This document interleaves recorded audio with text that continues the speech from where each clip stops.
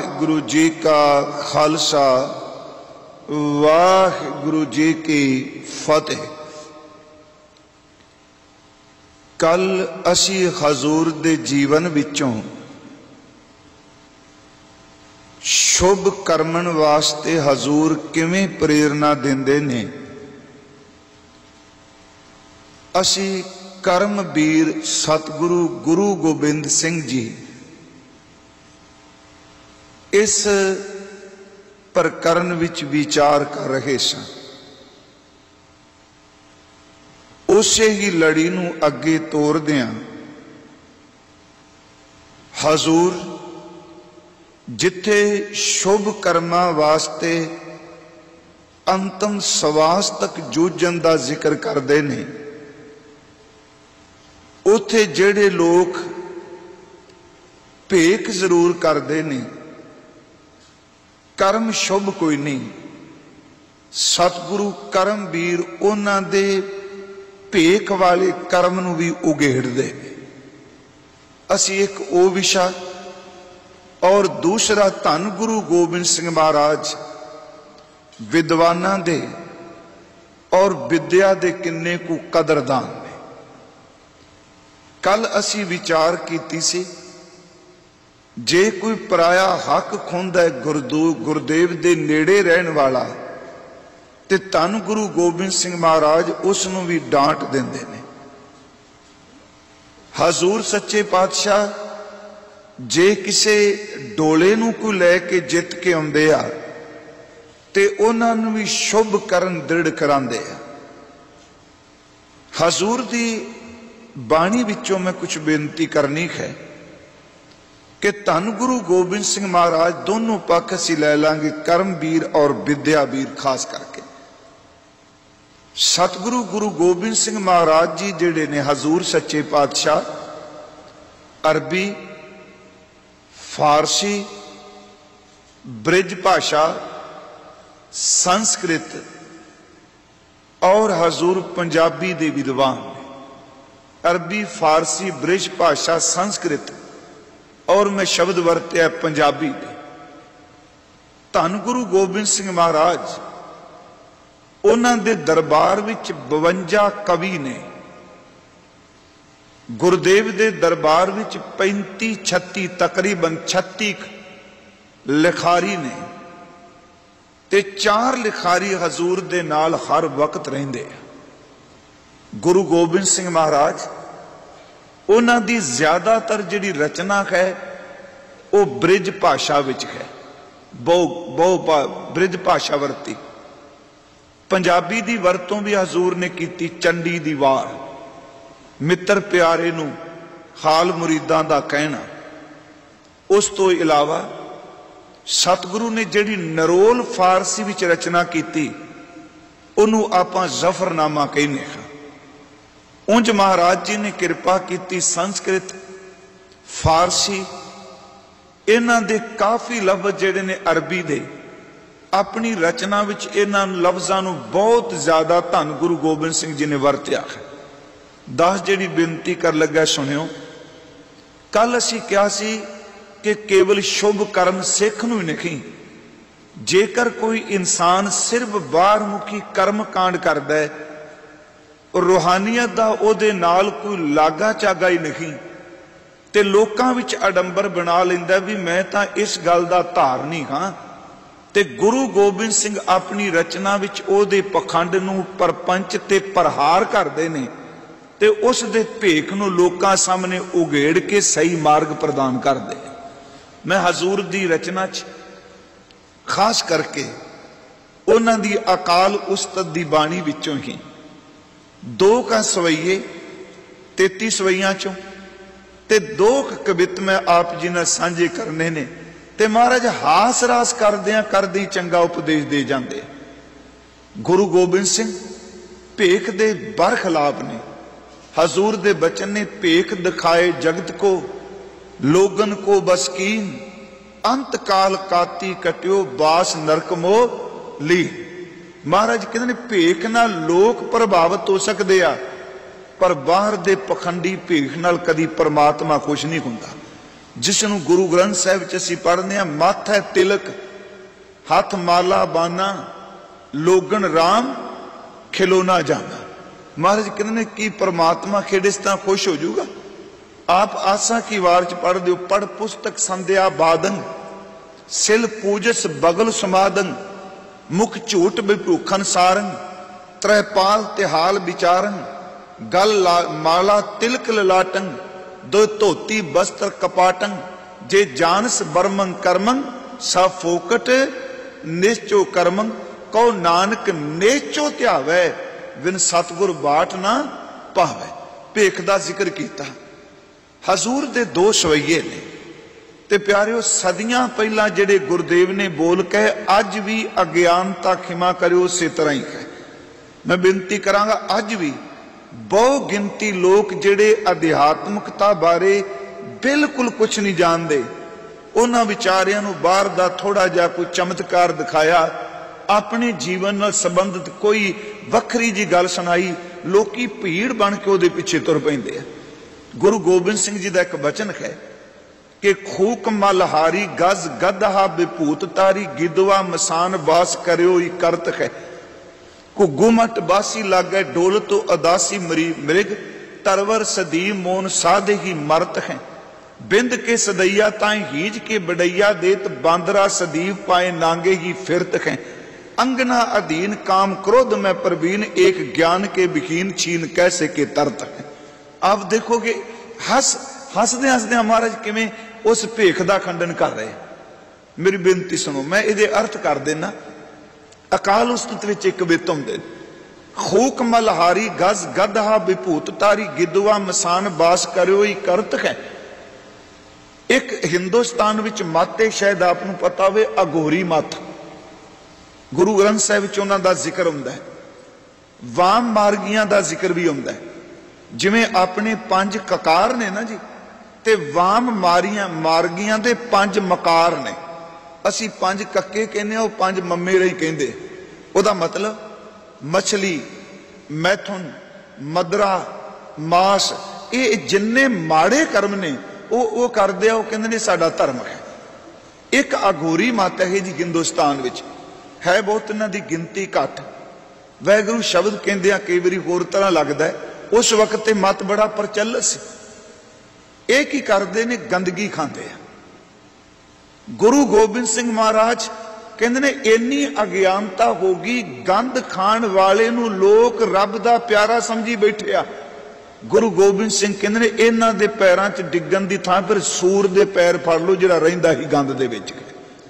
ਇੱਕ ਮਹਾਰਾਜ ਕਟਾਕਸ਼ ਕਰਦੇ ਆ, ਵਿਅੰਗ ਵੀ ਕਰਦੇ ਆ। ਖੂਕ ਮਲਹਾਰੀ ਖੂਕ ਮਲਹਾਰੀ ਮਲ ਖਾਣ ਵਾਲਾ। ਮਹਾਰਾਜ ਕਹਿੰਦੇ ਸੂਰਤਾ ਮੈਲ 'ਚ ਰਹਿੰਦਾ ਹੈ। ਗੱਜ ਗਧਹਾ ਬਿਬੂਤ ਧਾਰੀ। ਹਜ਼ੂਰ ਨੇ ਅਗਲੇ ਦੋ ਸ਼ਬਦ ਵਰਤੇ। ਖੂਕ ਮਲਹਾਰੀ ਗਜ਼ ਗਧਹਾ ਬਿਬੂਤ ਧਾਰੀ ਗਿੱਦਵਾ ਮਸਾਨ ਬਾਸ ਕਰੋ ਹੀ ਕਰਤ ਅੱਜ ਵੀ ਦੇਖੋ, ਜਦੋਂ ਆ ਕੁੰਭ ਦਾ ਮੇਲਾ ਹੁੰਦਾ ਹੈ, ਮੈਂ ਇੱਕ ਦਿਨ ਕਿਹਾ ਸੀ, ਚਿੱਤ ਮੇਰਾ ਕਰਦਾ, ਮੈਂ ਕਰੀ ਜ਼ਰੂਰ ਜਾਵਾਂ। ਕਿਉਂਕਿ ਜੋ ਕੁਝ ਬਾਣੀ ਚ ਲਿਖਿਆ, ਦੇਖੀਏ ਸਹੀ ਇਹ ਡੰਬਰ ਕੀ ਕੁਝ ਬੰਦੇ ਕੀ ਕਰਦੇ ਆ, ਗੁਰੂ ਗੋਬਿੰਦ ਸਿੰਘ ਕਹਿੰਦੇ ਨੇ, ਨਾ ਸਿਮਰਨ, ਨਾ ਬੰਦਗੀ, ਨਾ ਸੁਰਤ ਉੱਚੀ ਉਹ ਕੀ ਕਰ ਰਹੇ ਆ ਵੀ ਸਵਾਹ ਲੈਣੀ ਹੈ ਸਿਰ ਤੋਂ ਪੈਰਾਂ ਤੱਕ ਪੂਰੇ ਦਾ ਪੂਰਾ ਪਿੰਡਾ ਜਿਹੜਾ ਉਹ ਸਵਾਹ ਨਾਲ ਭਰ ਲੈਂਦੇ ਕਪੜਾ ਕੋਈ ਨਹੀਂ ਪਾਇਆ। ਤੇ ਪੜ੍ਹੇ ਲਿਖੇ ਲੋਕ ਉਹਨਾਂ ਨੰਗੇ ਸਵਾਹ ਮਲਣ ਵਾਲਿਆਂ ਦੇ ਪੈਰਾਂ ਵਿੱਚ ਟਿਕ ਚੁੱਕਦੇ ਪਏ ਆ।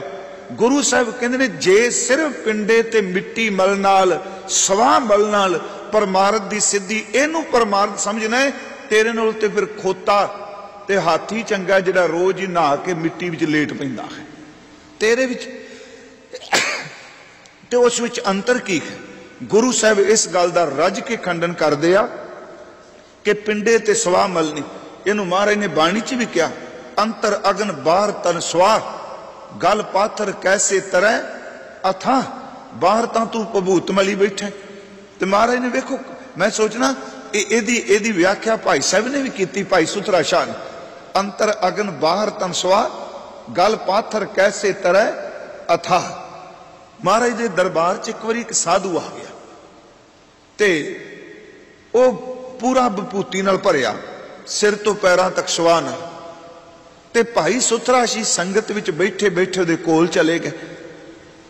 ਤੇ ਉਹ ਨੰਗਾ ਸੀ ਉਹਦੇ ਪੇਟ ਕੋਲ ਉਂਗਰ ਲਾ ਕੇ ਨਾ, ਜਿਵੇਂ ਚਬੋ ਕੇ, ਕਹਿੰਦੇ ਸਾਧੂ ਜੀ, ਆਪ ਜੀ ਦਾ ਨਾਮ?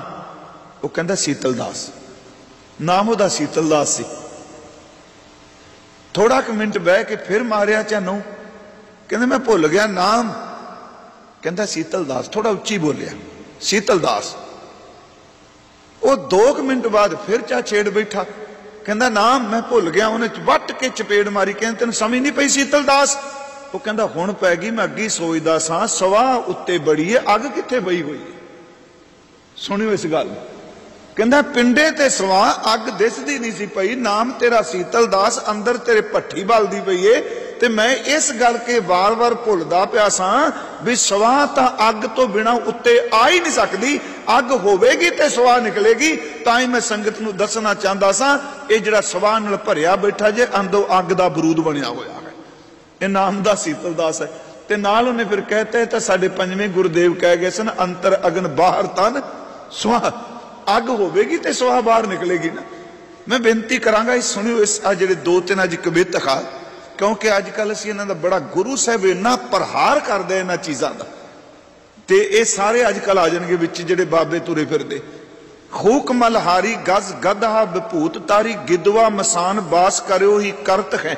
ਪਖੰਡੀਆਂ ਦੀ ਮੈਂ ਗੱਲ ਕਰ ਰਿਹਾ। ਜੇ ਗੰਦਗੀ ਹੀ ਬ੍ਰਹਮ ਗਿਆਨ ਦੀ ਸੂਚਕ ਹੈ, ਤੇ ਸੂਰਤਾ ਪੂਜਨ ਯੋਗ ਹੈ। ਜੇ ਪਿੰਡੇ ਤੇ ਮਿੱਟੀ ਮਲ ਕੇ ਕਹਿ ਦੇਣਾ ਅਧਿਆਤਮਕਤਾ ਹੈ ਸਪਿਰਚੁਅਲਿਟੀ ਹੈ, ਖੋਤਾ ਤੇ ਹਾਥੀ ਹਾਥੀ ਨੂੰ ਇਸ਼ਨਾਨ ਕਰਾ ਦਿਓ, ਫਿਰ ਸਵਾਰ ਸਿਰ ਤੇ ਸੱਟ ਲੈਂਦਾ। ਗਿੱਦਵਾ ਮਸਾਨ ਬਾਸ ਕਰਿਓ ਹੀ ਕਰਤ ਹੈ। ਜੇ ਤੂੰ ਇਹ ਕਹਿਣਾ ਵੀ ਆਹ ਬਾਬਾ ਜੀ ਤਾਂ ਸਿਰਫ ਸ਼ਮਸ਼ਾਨ ਘਾਟੀ 'ਚ ਰਹਿੰਦੇ ਨੇ ਜੀ, ਇਹਨਾਂ ਦਾ ਗੁਣ ਹੈ। ਮੈਂ ਇੱਕ ਬੇਨਤੀ ਕਰਾਂਗਾ, ਮੈਂ ਇਸ ਗੱਲ ਦਾ ਹਾਮੀਦਾਰ ਹਾਂ ਕਿ ਪਹਿਲਾਂ ਵੀ ਇਬਾਦਤ ਵਾਲੇ ਸਨ, ਅੱਜ ਵੀ ਖੈਣ ਤੇ ਅਗਾਮੀ ਹੋਣਗੇ ਪਰ ਖੈਣ ਵਿਰਲੇ ਨਾ ਹੀ ਕਣੇ, ਸਿੱਖਾਂ ਵਿੱਚ ਵੀ ਨਾ ਹੀ ਕਣੇ ਯਾਦ ਰੱਖਿਓ। ਪਰ ਹੈਣ ਜ਼ਰੂਰ, ਪਰ ਜਿਹੜੀ ਗੱਲ ਗੁਰੂ ਨੇ ਸਦੀਆਂ ਪਹਿਲਾਂ ਕਹੀ, ਉਹ ਪਖੰਡ ਅੱਜ ਵੀ ਹਿੰਦੁਸਤਾਨ ਦੀ ਧਰਤੀ ਤੇ ਚੱਲਦਾ ਹੈ। ਖਿਮਾ ਕਰਿਓ, ਜੇ ਇੱਥੇ ਆ ਜਾਣ, ਜਿਸ ਮੁਲਕ 'ਚ ਦੀ ਤਰੱਕੀ ਵਾਲੇ 'ਚ ਬੈਠਿਓ ਤਵੀਤਾਂ ਧਾਗੇ ਵਾਲਿਆਂ ਦੀ ਤੇ ਇੱਥੇ ਬੱਲੇ ਬੱਲੇ ਹੋਈ ਬੈਠੀ। ਇਸ ਤਰ੍ਹਾਂ ਜੇ ਇੱਕ ਦੂਜੇ ਦੇ ਘਰ ਨੂੰ ਤਬਾਹ ਕਰ ਲੈ। ਮਹਾਰਾਜ ਕਹਿੰਦੇ, ਜੇ ਇਹ ਕਹੀ ਜੀ, ਇਹ ਸ਼ਮਸ਼ਾਨ ਘਾਟ ਚੋਂ ਬਾਹਰ ਨਹੀਂ ਕਦੇ ਨਿਕਲੇ। ਮਹਾਰਾਜ ਕਹਿੰਦੇ, ਇਹ ਕਾਦੀ ਸਪਿਰਚੁਅਲਿਟੀ ਇਹ ਕਾਦਾ ਗੁਣ ਹੈ?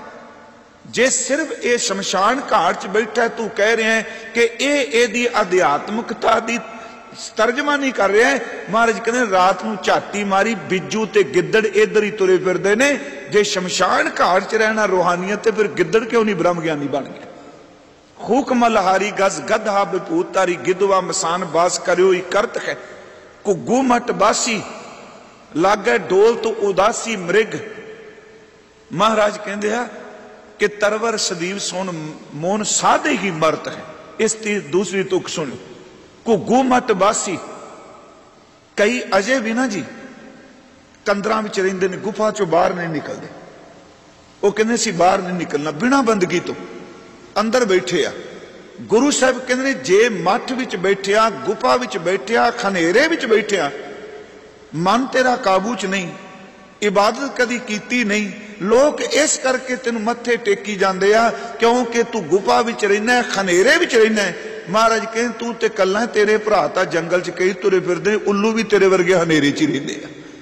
ਮਹਾਰਾਜ ਮਜ਼ਾਕ ਮਜ਼ਾਕ ਸਾਰੀ ਗੱਲ ਸਮਝਾ ਗਿਆ ਵਿਅੰਗ ਵਿੱਚ ਘੁੱਗੂ ਮੱਟ ਬਾਸੀ ਘੁੱਗੂ ਉੱਲੂ। ਜੇ ਮੱਠਾਂ 'ਚ ਰਹਿਣ ਵਾਲਾ ਉੱਲੂ ਵੀ ਹਨੇਰੇ 'ਚ ਰਹਿੰਦਾ ਹੈ। ਘੁੱਗੂ ਮੱਟ ਬਾਸੀ ਲਾਗੈ ਡੋਲਤ ਉਦਾਸੀ ਮ੍ਰਿਗ। ਜੇ ਤੂੰ ਕਹਿੰਦਾ ਮੈਂ ਜੰਗਲ ਵਾਸੀ ਖਾਂ, ਤੇ ਮਹਾਰਾਜ ਕਹਿੰਦੇ ਆ, ਫਿਰ ਮਿਰਗ ਤਾਂ ਸਾਰੀ ਜੰਗਲ 'ਚ ਰਹਿੰਦੇ ਆ। ਹਜ਼ੂਰ ਸ਼ਬਦ ਵਰਤ ਰਿਹਾ, ਤਰਵਰ ਸਦੀ ਮੋਨ ਸਾਦੇ ਹੀ ਮਰਤ ਹੈ। ਜੇ ਤੂੰ ਇਹ ਸ਼ਬਦ ਕਹਿ ਰਹੇ ਕਿ ਮੈਂ ਜ਼ਬਾਨ ਤੋਂ ਨਹੀਂ ਬੋਲਦਾ, ਇਹ ਬਾਬਾ ਜੀ ਸਾਡੇ ਬਿਲਕੁਲ ਮੋਨੀ ਕਈ ਸਾਲਾਂ ਦੇ ਚੁੱਪ ਕੀਤੇ ਆ। ਤੇ ਮਹਾਰਾਜ ਕਹਿੰਦੇ ਆ ਬਾੜ ਗੋੜ ਦੇ ਰੁੱਖ ਨੂੰ ਪੁੱਛ ਲੈ ਇਹ ਕਈ ਸਾਲ ਲਈ ਕਈ ਸਦੀਆਂ ਦਾ ਚੁੱਪ ਕੀਤਾ ਹੈ, ਕਿਹੜਾ ਬ੍ਰਹਮ ਗਿਆਨੀ ਬਣ ਗਿਆ। ਮੈਂ ਨੁਕਤੇ ਨੂੰ ਸੁਣਿਓ, ਅਧਿਆਤਮਿਕ ਜੀਵਨ ਨਹੀਂ।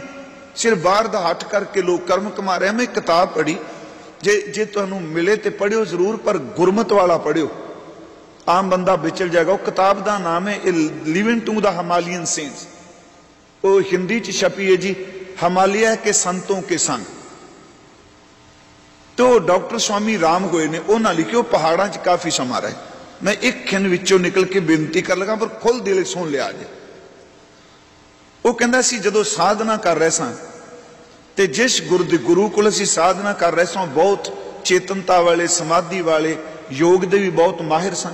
ਯਾਦ ਰੱਖਿਓ, ਇਹਨੂੰ ਮੈਂ ਤਾਂ ਕਿਹਾ ਵੀ ਇਹਨੂੰ ਗੁਰੂ ਗ੍ਰੰਥ ਸਾਹਿਬ ਦੇ ਸ਼ਬਦ ਚ ਨਾ ਢਾਲ ਕੇ ਸੁਣਿਓ।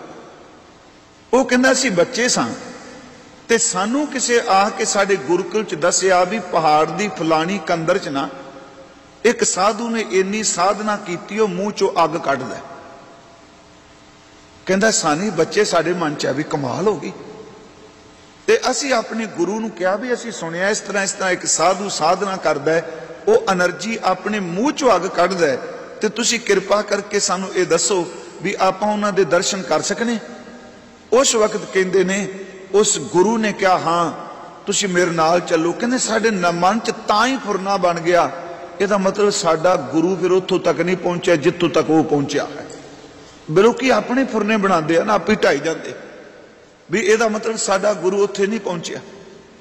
ਕਹਿੰਦੇ ਅਸੀਂ ਚੱਲ ਪਏ। ਤੇ ਮਨ 'ਚ ਵੀ ਜੇ ਸਾਡਾ ਗੁਰੂ ਚੱਲਿਆ ਤੇ ਇਹਦਾ ਮਤਲਬ ਉਹ ਵੱਡਾ ਹੀ ਹੋਣਾ ਹੈ।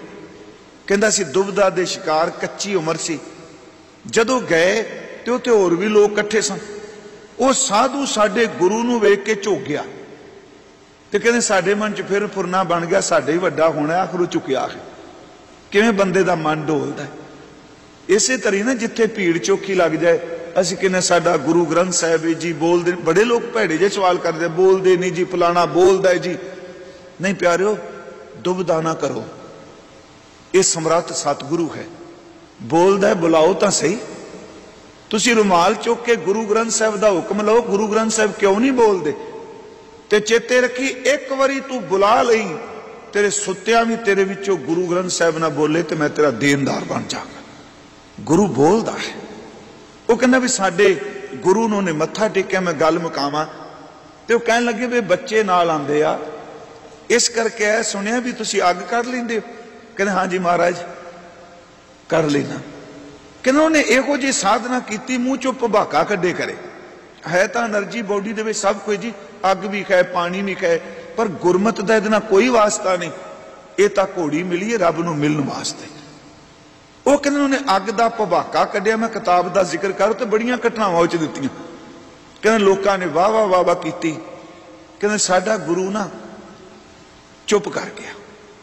ਸਾਡੇ ਮਨ ਚ ਆਇਆ ਸ਼ਾਇਦ ਇਹਦੀ ਜੈਲਸ ਤੇ ਨਹੀਂ, ਵੀ ਇਹਦੀ ਸਾਧਨਾ। ਕਹਿੰਦੇ ਨੇ ਉਸ ਤੋਂ ਬਾਅਦ ਇੱਕੋ ਗੱਲ ਕੇ ਕਹਿਣ ਲੱਗੇ, ਸੰਤ ਜੀ ਲੋਕ ਤੁਹਾਨੂੰ ਸੰਤ ਕਹਿੰਦੇ ਆ, ਪਰ ਮੈਂ ਤੁਹਾਨੂੰ ਕਹਿ ਦੇਣਾ ਸੰਤ ਜੀ, ਇਹ ਅੱਗ ਕੱਢਣ ਦੀ ਸਾਧਨਾ ਕਿੰਨੇ ਸਾਲ ਕੀਤੀ? ਉਹ ਕਹਿੰਦਾ ਮਹਾਰਾਜ 21 ਸਾਲ। ਮੱਥੇ ਤੇ ਹੱਥ ਮਾਰ ਕੇ ਕਹਿੰਦੇ ਨੇ, ਉਹ 21 ਸਾਲ ਅੱਗ ਲਾਣ ਜੋਗੀ ਬਣਿਆ ਹੈ। 21 ਸਾਲ ਕਿਤੇ ਬੰਦਗੀ ਕਰਦਾ ਤੇ ਲੋਕਾਂ ਦੇ ਅੰਦਰ ਦੀ ਅੱਗ ਬੁਝਾ ਦਿੰਦਾ। ਇਹ ਕੀ ਤੇਰੀ ਕੀ ਤੇਰੀ ਰੂਹਾਨੀਅਤ ਦੀ ਮੰਜ਼ਿਲ ਹੈ? 21 ਸਾਲ ਸਾਧਨਾ ਕਰਕੇ ਜਿਹੜਾ ਕੰਮ ਤੀਲੀ ਨੇ ਕਰਨਾ ਹੈ ਤੇ ਜਿੰਨੇ ਸਾੜ ਨਹੀਂ ਸਾੜਨਾ ਹੈ, ਜੇ 21 ਸਾਲ ਬਾਅਦ ਵੀ ਸਾੜਨੀਆਂ ਗੱਲਾਂ ਕਰ ਲੈ, ਰੱਬ ਦੇ ਘਰ ਤੈਨੂੰ ਟੋਈ ਕਦੋਂ ਮਿਲੇਗੀ?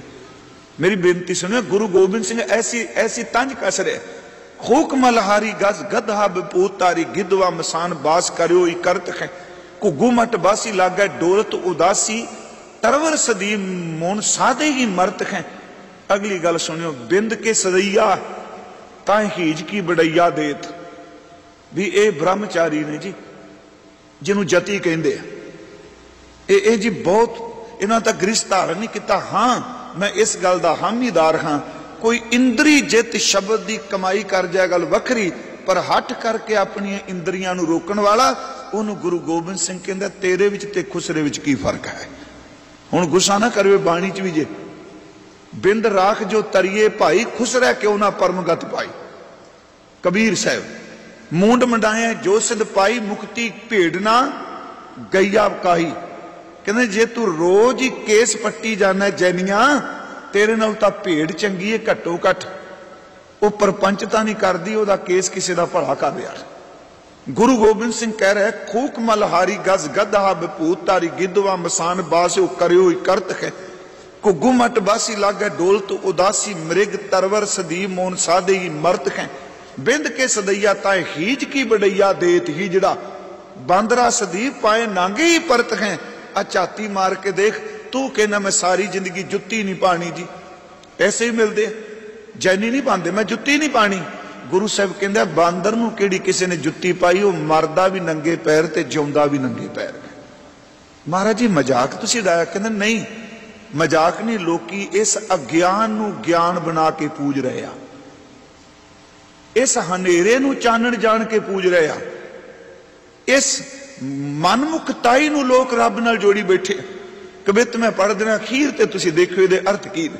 ਖੂਕ ਮਲਹਾਰੀ ਗਸ ਗਧਾ ਬਪੂਤ ਗਿਦਵਾ ਮਸਾਨ ਬਾਸ ਕਰਿਓ ਹੀ ਕਰਤ ਹੈ ਘੁੱਗੂ ਮਟ ਬਾਸੀ ਲਾਗੇ ਡੋਲਤ ਉਦਾਸੀ ਮ੍ਰਿਗ ਤਰਵਰ ਸਦੀਮ ਮੋਨ ਸਾਦੇਗੀ ਮਰਤ ਹੈ ਬਿੰਦ ਕੇ ਸਦਈਆ ਤਾਏ ਖੀਜ ਕੀ ਬੜਈਆ ਦੇਤ ਬਾਂਦਰਾ ਸਦੀਪ ਆਏ ਨਾਗੇ ਹੀ ਫਿਰਤ ਹੈ ਅੰਗਨਾ ਅਧੀਨ ਕਾਮ ਕ੍ਰੋਧ ਮੈਂ ਪ੍ਰਵੀਣ ਆ ਸੁਣਿਓ, ਅੱਜ ਸੱਚੀ ਮੁੱਚੀ ਟੁਕਦਾ ਪਿਆ। ਤੁਸੀਂ ਦੇਖਦੇ ਪਓ ਉੱਥੇ ਬਹੁਤ ਕੁਝ ਨਿਕਲਦੇ ਪੈਣ ਪੋਤੜੇ ਸਾਰਿਆਂ ਦੇ ਇੱਕ ਫਲਾਹਾਰੀ ਬਾਬਾ ਵੀ ਫਸਿਆ ਕੱਲ ਪਰਸੋਂ ਮੈਨੂੰ ਕੀ ਦੱਸਿਆ। ਅਲਵਰ ਤੋਂ। ਮਹਾਰਾਜ ਕਹਿੰਦੇ ਨੇ, ਜਿੰਨੇ ਤੁਰੇ ਫਿਰਦੇ ਜੇ ਅੰਗਨਾ ਅਧੀਨ, ਇਹਨਾਂ ਦੇ ਅੰਦਰ ਦੀ ਸੁਰਤ ਇੰਨੀ ਗੰਦੀ ਹੈ, ਇਹ ਲੋਕਾਂ ਦੀਆਂ ਧੀਆਂ ਭੈਣਾਂ ਤੇ ਗੰਦੀ ਨਜ਼ਰ ਰੱਖ ਕੇ ਕਾਮ ਦੇ ਅਧੀਨ ਜਿੰਦੇ ਪਏ ਅੰਗਨਾ ਦਾ ਅਰਥ ਇਸਤਰੀ। ਅੰਗਨਾ ਅਧੀਨ, ਕਾਮ ਕ੍ਰੋਧ ਮੈਂ ਪ੍ਰਵੀਨ ਇੱਕ ਗਿਆਨ ਕੇ ਵਿਹੀਨ ਚੈਨ ਕੈਸੇ ਕਰਤ ਹੈ ਜੇ ਇਹਨਾਂ ਦੇ ਅੰਦਰ ਪ੍ਰਮਾਤਮਾ ਦਾ ਰੂਹਾਨੀ ਗਿਆਨ ਨਹੀਂ ਤੇ ਆ ਬਾਹਰ ਦੀਆਂ ਗੱਲਾਂ ਸਵਾਹ ਮਲ ਲਈ ਨੰਗੇ ਰਹਿ ਗਏ ਕੱਪੜੇ ਕੋਈ ਨਹੀਂ ਪਾਏ ਪੈਰਾਂ 'ਚ ਜੁੱਤੀ ਕੋਈ ਨਹੀਂ ਪਾਈ ਮੈਂ ਵਿਆਹ ਕੋਈ ਨਹੀਂ ਕਰਾਇਆ ਮਹਾਰਾਜ ਕਹਿੰਦੇ ਨੇ ਬਿਲਕੁਲ ਵਿਅਰਥ ਹੈ ਇਸ ਤੋਂ ਅਗਲਾ ਕਵਿਤ ਸੁਣਿਓ ਭੂਤ ਬਨ ਚਾਰੀ ਮੈਂ ਸਿਰਫ ਚਾਰ ਕੀ ਗੱਲਾਂ ਕਰਨੀਆਂ ਨੇ ਕਿਉਂਕਿ ਮਹਾਰਾਜ ਦੇ ਭੰਡਾਰੇ ਦਾ ਤੇ ਅੰਤ ਹੀ ਕੋਈ ਨਹੀਂ ਤੇ ਅਜ ਤੱਕ ਕੰਮ ਹੀ ਨਿਬੇੜ ਦਿੱਤਾ ਹੈ ਆਪਾਂ ਮੰਨਣੇ ਹੀ ਕੋਈ ਨਹੀਂ। ਸਿੱਧਾ ਸਿੱਧਾ ਪੋਚਾ ਫੇਰ ਜੋ ਕੋਈ ਨਹੀਂ ਮੰਨਣਾ। ਕਿਉਂਕਿ ਜੇ ਮੰਨੋਗੇ ਤੇ ਪੜਨਾ ਪੈਣਾ ਪੜੋਗੇ ਤੇ ਯਾਦ ਕਰਨਾ ਪੈਣਾ ਮਹਾਰਾਜ ਕਹਿੰਦੇ ਭੂਤ ਬਨ ਚਾਰੀ ਚਿਤ ਛੌਨਾ ਸਭ ਹੈ, ਦੁੱਧਾ ਤਾਰੀ ਪੌਣ ਕੇ ਆਹਾਰੀ, ਸੋ ਪੁਜੰਗ ਜਾਨੀਅਤ ਕੈ ਤ੍ਰਿਣ ਕੇ ਪਛਈਆ, ਧਨ ਲੋਭ ਕੇ ਤਜਈਆ, ਤੇ ਤੋ ਗੋਵਨ ਕੇ ਜਈਆ ਬ੍ਰਿਕ ਭਈਆ ਮਾਨੀਅਤ ਕੈ ਨਭ ਕੇ ਉਡਈਆ ਤੈ ਪੰਛੀ ਕੀ ਬੜਈਆ, ਦੇਤ ਬਗੁਲਾ ਬਿੜਾਲ ਬ੍ਰਿਕ ਧਿਆਨੀ ਠਾਨੀਅਤ ਕੈ ਜੇ ਤੋ ਵੱਡੇ ਗਿਆਨੀ ਜਿਨੋ ਜਾਨੀ ਪੈ ਬਖਾਨੀ ਨਾ ਐ ਸੋਨਾ ਪਰਪੰਚ ਮਨ ਭੂਲ ਯਾਨੀਅਤ ਕੈ ਇਹ ਅਕਾਲ ਉਸ ਦੇ ਕਵਿਤ ਦਾ ਦੂਜਾ ਕਵਿਤ ਹੈ ਸੁਣੋ ਇਹਦੇ ਅਰਥ ਕੀ ਨੇ ਥੋੜਾ ਜਿਹਾ ਕਤਾਓਗੇ ਤਾਂ ਜ਼ਰੂਰ ਵੀ ਇਹ ਕਿਹੜਾ ਵਿਸ਼ਾ ਸ਼ੁਰੂ ਕੀਤਾ ਪਰ ਮਹਾਰਾਜ ਕਹਿੰਦੇ ਆ ਜਿਮ ਜਿਮ ਕਹੀ ਤੇ ਮੈਂ ਤਿਮ ਕਹਿ और किसी से बैर ना गए हूं पखान पूज खाओ नहीं मैं पत्थर पूजन वाला नहीं थोड़ी आवाज कट करे ਹਜ਼ੂਰ ਨੇ ਇੱਥੇ ਕਿਹਾ, ਭੂਤ ਬਨਚਾਰੀ, ਜਿਹੜੇ ਕਹਿੰਦੇ ਸੀ ਘਰ 'ਚ ਨਹੀਂ ਵੜਨਾ, ਜੰਗਲ 'ਚ ਰਹਿਣਾ ਤੇ ਅੱਜ ਕੱਲ ਇੱਕ ਜੈਦੀਆਂ ਦਾ ਬਾਬਾ ਹੈ ਜੀ। ਮੈਂ ਮੈਂ ਸਾਰੇ ਸਟੱਡੀ ਕਰਨਾ ਵੀ ਕਿਹੜੇ ਕਿਹੜੇ ਉਹ ਰਹਿੰਦੇ ਹੀ ਜੰਗਲ 'ਚ, ਉਹਦਾ ਨਾਂ ਹੀ ਜੰਗਲ ਵਾਲੇ ਬਾਬਾ ਜੀ। ਬਿਲਕੁਲ ਨਗਰ ਰਹਿੰਦਾ ਜੀ। ਕਦੀ ਪੱਥਰ ਤੇ ਬੈਠਾ ਕਿ ਚਿਹਰਾ ਉਹਦਾ ਇੰਨਾ ਸੱਚੀ ਲੋ ਮੈਨੂੰ ਲੱਗਦਾ ਹੈ, ਇੰਨਾ ਖੁਸ਼ਕ ਤੇ ਇੰਨਾ ਭ੍ਰਸ਼ਟਿਆ ਜਿਵੇਂ ਪਸ਼ੂ ਕਿਤੇ ਕੋਈ ਹੱਟ ਕਰਦਾ ਹੋਵੇ। ਮਹਾਰਾਜ ਕਹਿੰਦੇ, ਜੇ ਤੂੰ ਇਹ ਕਹੇ ਜੰਗਲ 'ਚ ਰਹਿਣਾ ਤਾਂ ਅਵਗਤ ਰੂਹਾਂ ਬੜੀਆਂ ਜੰਗਲ 'ਚ ਤੁਰੀਆਂ ਫਿਰਦੀਆਂ ਨੇ। ਛਿਤ ਛੌਨਾ ਸਭ ਹੈ ਦੂਦਾ ਧਾਹੀ। ਜੇ ਇਹ ਕਹੇ ਜੀ, ਇਹ ਬਾਬਾ ਜੀ ਅੰਨ ਨਹੀਂ ਖਾਂਦੇ, ਇਹ ਸਿਰਫ ਦੁੱਧ ਹੀ ਪੀਂਦੇ ਆ। ਇਹਨਾਂ ਤੇ ਕਈ ਮਹੀਨਿਆਂ ਦਾ ਅੰਨ ਮੂੰਹ ਹੀ ਨਹੀਂ ਲਾਇਆ, ਕਈ ਦਿਨਾਂ ਦਾ ਅੰਨ ਮੂੰਹ ਨਹੀਂ ਲਾਇਆ। ਮਹਾਰਾਜ ਕਹਿੰਦੇ ਨੇ ਖਰ ਜੰਮਦਾ ਹੋਇਆ ਧਰਤੀ ਤੇ ਬੱਚਾ ਜਿਹੜਾ ਜਨਮ ਲੈਂਦਾ ਹੈ, ਉਹ ਕੁਝ ਮਹੀਨੇ ਕੱਲਾ ਦੁੱਧ ਹੀ ਪੀਂਦਾ ਹੈ ਜੇ ਦੁੱਧ ਬ੍ਰਹਮ ਗਿਆਨ ਦੀ ਪ੍ਰਾਪਤੀ ਤੇ ਨਿਆਣਾ ਕਿਉਂ ਨਹੀਂ ਸੰਤ ਬਣ ਗਿਆ? ਭੂਤ ਬਨਚਾਰੀ ਚਿਤ ਛੌਨਾ ਸਭੈ ਦੁੱਧਾ ਧਾਰੀ, ਪੌਣ ਕੇ ਆਹਾਰੀ ਸੋ ਕੁਜੰਗ ਜਾਨੀਆਂ ਤਖ। ਜਿਹੜੇ ਕਹਿੰਦੇ ਸੀ ਕੁਝ ਨਹੀਂ ਖਾਂਦੇ, ਪੌਣ ਹਾਰੀਆਂ ਮਹਾਰਾਜ ਕਹਿੰਦੇ ਕਈ ਸੱਪ ਵੀ ਐਸੇ ਨੇ ਜਿਹੜੇ ਖਾਂਦੇ ਨਹੀਂ, ਪੌਣ ਵਿੱਚੋਂ એનર્ਜੀ ਲੈ ਲੈਂਦੇ ਆ। ਪੌਣ ਕੇ ਆਹਾਰੀ ਸੋ ਪੁਜੰਗ ਜਾਨੀਅਤ ਤਖ। ਤ੍ਰਿਣ ਕੇ ਪਛਈਆ, ਧਨ ਲੋਭ ਕੇ ਤਜਈਆ ਤੇ ਤੋ ਗੋਵਨ ਕੇ ਜਈਆ ਬ੍ਰਿਖ ਭਈਆ ਮਾਨੀਅਤ ਪੜਿਓ। ਮਹਾਰਾਜ, ਕਮਾਲ ਕੀਤੀ ਇੱਥੇ ਹੁਣ ਕਈ ਬੰਦੇ ਜੀ ਉਹ ਅੰਨ ਨਹੀਂ ਖਾਂਦੇ ਆ ਪੱਤੇ ਖਾਂਦੇ ਆ, ਘਾਸ ਫੂਸ ਖਾਂਦੇ ਆ। ਤੇ ਨਾਲੇ ਵੀ ਕਹਿ ਦਿੰਦੇ ਜੀ, ਇਹਨਾਂ ਕਦੀ ਮਾਇਆ ਨੂੰ ਹੱਥ ਨਹੀਂ ਆਇਆ, ਇੰਨੇ ਤਿਆਗੀ ਨੇ, ਮਾਇਆ ਨੂੰ ਕਦੀ ਹੱਥ ਨਹੀਂ ਲਾਇਆ, ਸਿਰਫ ਪੱਤੇ ਖਾਂਦੇ ਨੇ, ਘਾਹ ਫੂਸ ਖਾਂਦੇ ਨੇ, ਕਦੀ ਅੰਨ ਨਹੀਂ ਵਰਤਿਆ। ਮਹਾਰਾਜ ਕਹਿੰਦੇ ਨੇ, ਚਲੋ, ਤੂੰ ਘਾਹ ਫੂਸ ਖਾ ਲੈਣਾ ਅੰਨ ਨਹੀਂ ਖਾਂਦਾ ਪੈਸੇ ਨੂੰ ਹੱਥ ਨਹੀਂ ਲਾਂਦਾ ਤੇ ਮਹਾਰਾਜ ਕਹਿੰਦੇ ਨੇ ਇਹਨੂੰ ਗੱਦੀ ਤੇ ਨਾ ਬਿਠਾਓ, ਇਹਨੂੰ ਖੁਰਲੀ ਤੇ ਬੰਨੋ ਇਹ ਗਾਂ ਦੇ ਬਛੜੇ ਦੀ ਤਰ੍ਹਾਂ ਹੈ, ਬੱਚਾ ਇਹਦੇ ਨਾਲ ਚੰਗਾ ਹੈ। ਉਹ ਵੱਡਾ ਹੋ ਕੇ ਹਲ ਵਾਹ ਕੇ ਅਨਾਜ ਤਾਂ ਦਿੰਦਾ ਇਹ ਤਾਂ ਨਕਮਾ ਘਾਹ ਖਾ ਕੇ ਐਵੇਂ ਬੈਠਾ ਹੋਇਆ। ਇਹ ਸੁਣਿਓ ਇਸ ਨੂੰ। ਫਿਰ ਫਿਰ ਮੈਂ ਕਵਿਤ ਪੜ ਦੇਣਾ ਭੂਤ ਬਨ ਚਾਰੀ ਚਿਤ ਛੌਨਾ ਸਭੈ ਦੁਧਾ ਧਾਰੀ। ਪੌਨ ਕੇ ਆਹਾਰੀ ਸੋ ਭੁਜੰਗ ਜਾਨੀਅਤ ਹੈ ਤ੍ਰਿਣ ਕੇ ਪਸ਼ਈਆ ਤ੍ਰਿਣ ਦਰ ਤੇ ਤੂੜੀ ਕੱਖ। ਪਸ਼ਈਆ ਦਰ ਤੇ ਖਾਣ ਵਾਲੇ ਤ੍ਰਿਣ ਕੇ ਪਸ਼ਈਆ ਧਨ ਲੋਭ ਕੇ ਤਜਈਆ। ਇਹਨਾਂ ਨੇ ਧਨ ਨੂੰ ਕਦੀ ਹੱਥ ਨਹੀਂ ਲਾਇਆ। ਮਹਾਰਾਜ ਕਹਿੰਦੇ, ਤੇ ਤੋ ਗਵਨ ਕੇ ਜਈਆ। ਇਹ ਜਿਹੜਾ ਗੱਦੀ ਤੇ ਬੈਠਾ ਗਵਨ ਕੇ ਜਈਆ, ਇਹ ਗਾਂ ਦੇ ਜੰਮੇ ਹੋਏ ਬਛੜੇ ਦੀ ਤਰ੍ਹਾਂ ਹੈ। ਬ੍ਰਿਕ ਭਈਆ ਮਾਨੀਅਤ ਹੈ। ਬ੍ਰਿਕ ਦਾ ਅਰਥ ਹੁੰਦਾ ਹੈ ਬਲਦ। ਕਹਿਣ ਲੱਗੇ, ਇਹਨੂੰ ਬੰਦੇ ਦੀ ਨਸਲ ਨਾ ਕਹੋ। ਇਹਨੂੰ ਬਲਦ ਦਾ ਭਰਾ ਕੋ ਗੱਦੀ ਤੋਂ ਲਾ ਕੇ ਨੱਥ ਪਾ ਕੇ ਖੁਰਲੀ ਉੱਤੇ ਬੰਨੋ। ਦੇਖੋ ਮਹਾਰਾਜ, ਕੈਸੇ? ਮੈਂ ਬੇਨਤੀ ਕਰਾਂਗਾ, ਦਸਮ ਦੀ ਰਚਨਾ ਜਦੋਂ ਪੜੋਗੇ ਨਾ ਸੱਚ ਏਵੇ ਪਖੰਡ ਦਾ ਪ੍ਰਹਾਰ ਇੰਨਾ ਕੁ ਗੁਰੂ ਗੋਬਿੰਦ ਸਿੰਘ ਕਰਨਗੇ। ਪਤਾ ਲੱਗ ਜਾਏਗਾ, ਜੋ ਕੁਝ ਅੱਜ ਵਾਪਰਦਾ, ਮੈਂ ਗੁਰੂ ਤੋਂ ਪੈ ਖਾ ਕੇ ਨਾ, ਹਰ ਚੀਜ਼ ਉਹ ਸਾਨੂੰ ਮਿਲੇਗੀ। ਤੇ ਤੋ ਗਵਨ ਕੇ ਜਈਆ ਬ੍ਰਿਕ ਭਈਆ ਮਾਨੀਅਤ ਹੈ ਨਭ ਕੇ ਉਡਈਆ ਤੈ ਪੰਛੀ ਕੀ ਬਡਈਆ ਦੇਤ। ਜਿਹੜਾ ਕਹਿੰਦੇ ਜੀ, ਇਹ ਕਰਾਮਾਤ ਨਾਲ ਉੱਡ ਜਾਂਦਾ। ਮਹਾਰਾਜ ਕਹਿੰਦੇ, ਤੂੰ ਤਾਂ ਕਈ ਸਾਲ ਸਾਧਨਾ ਕਰਕੇ ਉੱਡਿਆ ਚਿੜੀ ਦੇ ਬੱਚੇ ਦੇ ਖੰਭ ਨਿਕਲਣ, ਉਹਦੀ ਉੱਡ ਪੈਂਦਾ ਫਿਰ ਤੂੰ ਤਾਂ ਚਿੜੀ ਦਾ ਬੋਟ ਹੋ ਗਿਆ। ਨਭ ਕੇ ਉਡਈਆ ਤੈ ਪੰਛੀ ਕੀ ਬੜਈਆ ਦੇਤ ਬਗੁਲਾ, ਬਿੜਾਲ ਬ੍ਰਿਕ ਧਿਆਨੀ ਠਾਨੀਅਤ ਹੈ ਤਿੰਨ ਸ਼ਬਦ ਵਰਤੇ। ਜੇ ਸਿਰਫ ਅੱਖਾਂ ਬੰਦ ਕਰਕੇ ਬਹਿ ਜਾਈਏ ਕਿ ਇਹ ਰੋਹਾਨੀਅਤ ਹੈ? ਕੱਲ ਵੀ ਅਸੀਂ ਪਰਸੋਂ ਕਿਹਾ ਸੀ, ਅੱਖਾਂ ਬੰਦ ਕਰਨੀਆਂ ਮਾੜੀ ਗੱਲ ਨਹੀਂ। ਕਿਸੇ ਨੂੰ ਠੱਗਣ ਵਾਸਤੇ ਅੱਖਾਂ ਬੰਦ ਕਰਨੀਆਂ ਬੜਾ ਵੱਡਾ ਪਾਪ ਹੈ। ਇਹਨੂੰ ਬਗਲ ਮਾਰੇ, ਤਿੰਨ ਸ਼ਬਦ ਵਰਤੇ ਨੇ, ਬਗੁਲਾ, ਬਿੜਾਲ ਬ੍ਰਿਕ ਇੱਕ ਬਗਲਾ ਅੱਖ ਬੰਦ ਕਰਦਾ ਜਦੋਂ ਸ਼ਿਕਾਰ ਕਰਦਾ ਦੂਜਾ ਬਿੱਲਾ, ਉਹ ਵੀ ਜਦੋਂ ਕਿਸੇ ਨੂੰ ਖਾਣਾ ਹੁੰਦਾ ਅੱਖਾਂ ਬੰਦ ਕਰਕੇ ਬਹਿੰਦਾ ਤੇ ਤੀਸਰਾ ਬਗਿਆੜ ਇਹ ਤਿੰਨੇ ਦੇ ਤਿੰਨੇ ਜਦੋਂ ਸ਼ਿਕਾਰ ਕਰਦੇ ਆ, ਪਹਿਲਾਂ ਅੱਖਾਂ ਬੰਦ ਕਰਦੇ ਆ, ਸਿਮਰਨ ਤੋਂ ਬਿਨਾ ਅੱਖਾਂ ਬੰਦ ਕਰਨੀਆਂ, ਕਪਟ ਕਰਨਾ, ਮਹਾਰਾਜ ਕਹੇ, ਤਿੰਨੇ ਬਗਲਾ, ਬਿੱਲਾ ਤੇ ਬਗਿਆੜ ਦੀ ਤਰ੍ਹਾਂ ਨੇ। ਇਹ ਬ੍ਰਹਮ ਗਿਆਨੀ ਨਹੀਂ।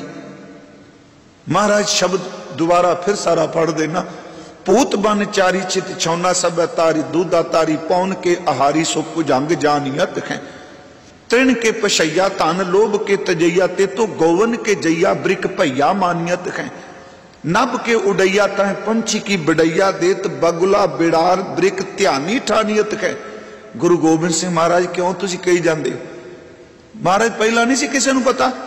ਕਹਿਣ ਲੱਗਾ, ਪਤਾ ਸੀ, ਹਜ਼ੂਰ ਕਹਿੰਦਾ, ਜੇ ਤੋਂ ਵੱਡੇ ਗਿਆਨੀ ਬੜੇ ਗਿਆਨਵਾਨ ਆਏ ਇਸ ਧਰਤੀ ਤੇ।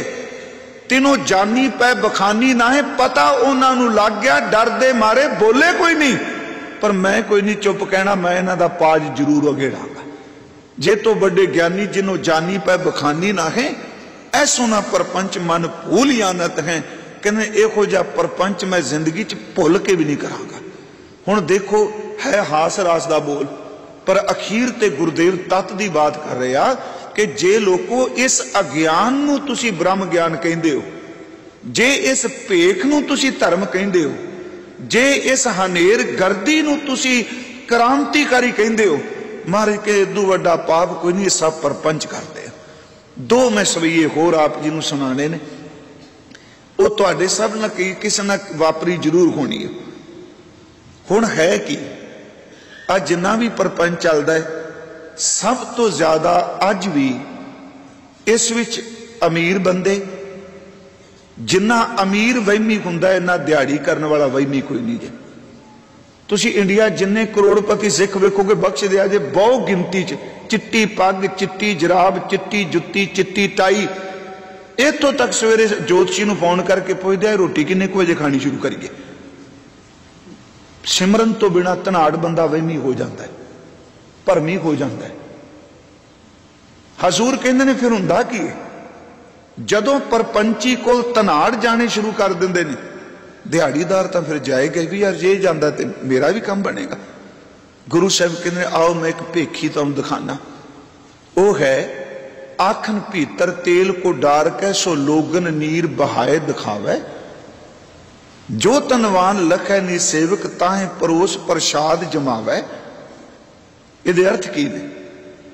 ਕਿ ਸਰੋਂ ਦਾ ਤੇਲ ਕੱਚੀ ਕਹਾਣੀ ਵਧੀਆ ਸਰੋਂ ਹੋਵੇ ਪਿਓਰ ਤੇਲ ਹੋਵੇ ਤੁਸੀਂ ਇੱਕ ਵਾਰੀ ਹੱਥ ਨੂੰ ਲਾ ਕੇ ਮੂੰਹ ਪੂੰਝੋ ਨਾ ਤੇ ਕਿੰਨਾ ਸਮਾਂ ਅੱਖਾਂ ਚੋਂ ਪਾਣੀ ਨਿਕਲੀ ਜਾਂਦਾ ਮਹਾਰਾਜ ਕਹਿੰਦੇ ਨੇ, ਅੱਖਾਂ 'ਚ ਤੇਲ ਪਾ ਲਿਆ ਮੈਂ ਪਰਪੰਚੀਆਂ ਦੀ ਬੇਨਤੀ ਕਰ ਰਿਹਾ। ਅੱਖਾਂ 'ਚ ਤੇਲ ਪਾ ਲਿਆ ਪਾਣੀ ਵਗਣਾ ਸ਼ੁਰੂ ਹੋ ਗਿਆ ਉਨੀ ਦੇਰ ਨੂੰ ਸ਼ਰਧਾਲੂ ਆ ਗਏ। ਚੇਲਾ ਕੋਲ ਬੈਠਾ ਸੀ ਹੁਣ ਜਦੋਂ ਕੁਦਰਤੀ ਤੌਰ ਤੇ ਨਿਚ ਆਏਗੀ, ਅੱਖਾਂ 'ਚੋਂ ਪਾਣੀ ਨਿਕਲੇਗਾ, ਉਸ ਵਕਤ ਗਲੇ ਤੇ ਅਸਰ ਵੀ ਹੋਵੇਗਾ।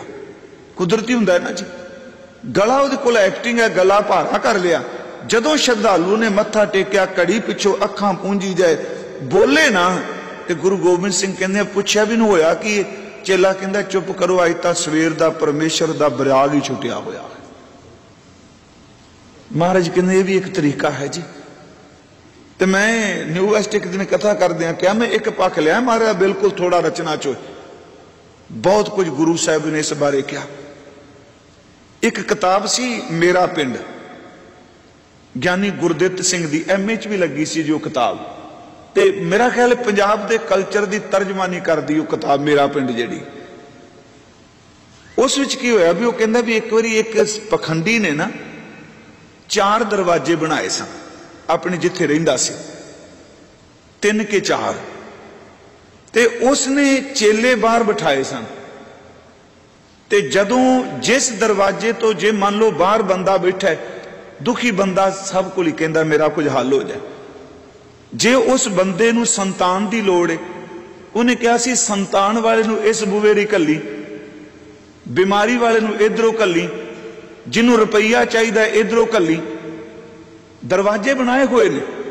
ਹੁਣ ਚੇਲੇ ਨੇ ਪਹਿਲਾਂ ਹੀ ਪੁੱਛ ਲੈਣਾ ਵੀ ਕਿਵੇਂ ਆਇਓ ਉਹਨਾਂ ਕਹਿਣਾ, ਜੀ, ਸਾਡੇ ਘਰ ਸੰਤਾਨ ਕੋਈ ਨਹੀਂ। ਕਹਿਣਾ, ਬਹਿ ਜਾ ਘੜੀ।